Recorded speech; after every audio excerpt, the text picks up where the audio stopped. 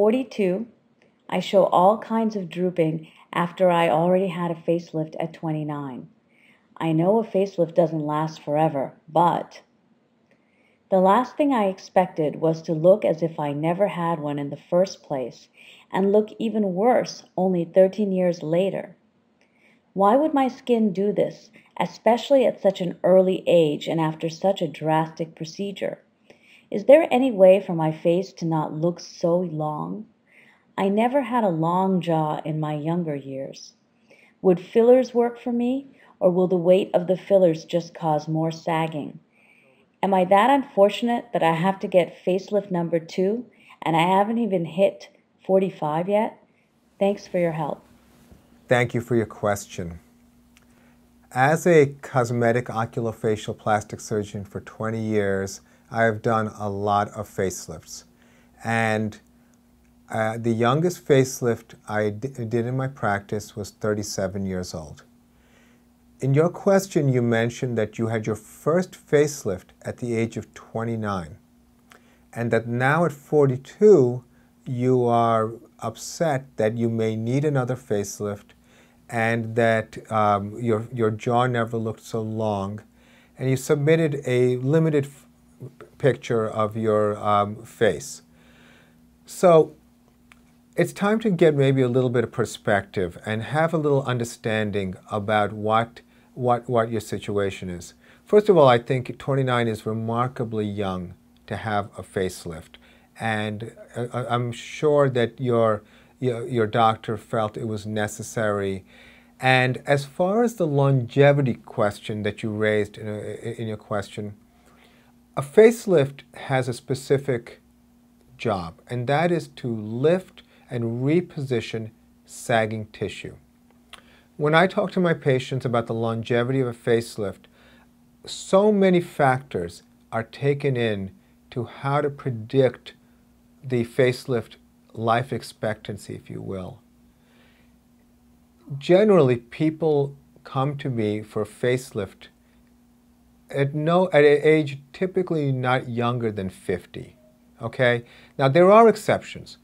M one of my exceptions was a woman who was 42 years old Irish descent, happened to have genetically some sagging at the jowl area, and she happened to have a two-year-old child.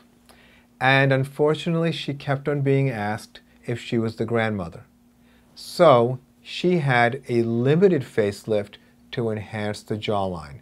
You see, facelift covers a wide range of procedures.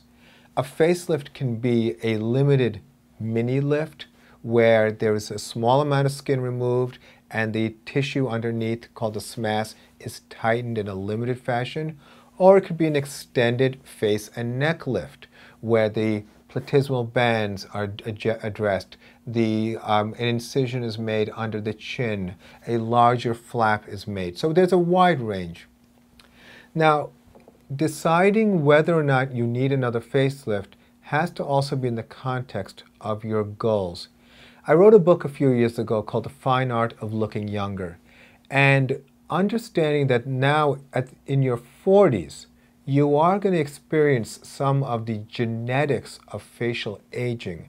And one of the things that is very specific to the, to the 40s or the decade of the 40s is volume loss. You know, um, there's, there's people who used to have very round faces start to get a little bit more gaunt. And that volume loss is a part of that, that process of facial aging. Now, interestingly, some people are actually very happy about that volume loss because when they were younger, they had a lot of fat, and now they look a little bit more structured or defined. So, in your situation, you have to define with your doctor what percentage of your look is related to volume loss and what percentage is, is related to sagging. So when I look at a patient, I actually physically move the skin and tissue to get an idea of whether or not a facelift will help and what kind of facelift would help. And then we work out a plan on whether or not they're ready to do the facelift first.